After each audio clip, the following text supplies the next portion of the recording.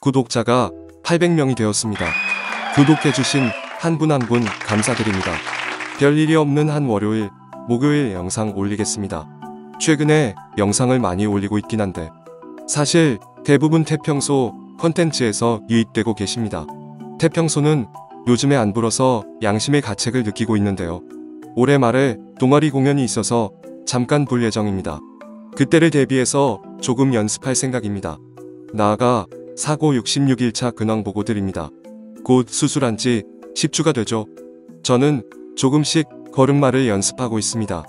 때는 안정적으로 붙고 있고 빠져버린 근육들을 운동을 통해 채워 넣어서 잃어버린 걸음마를 찾아야 합니다. 그래서 운동하러 다니고 있습니다. 따로 재활이라고 할 건 없고 이렇게 근육량을 늘려야 한답니다. 얻는 걷기 위해 운동 열심히 하겠습니다. 작은 목표였던 맥모닝도 혼자 먹으러 갔고요. 한 끼 든든하게 먹고 왔습니다. 또 다른 작은 목표인 이력서도 이렇습니다. 박물관에서 공고가 나서 이력서 준비하고 있습니다. 뭔가 목표가 생긴 것 같아서 생기가 돕니다. 얼마 남지 않은 2022년 열심히 한번 해보겠습니다. 오늘도 끝까지 시청해주셔서 감사합니다.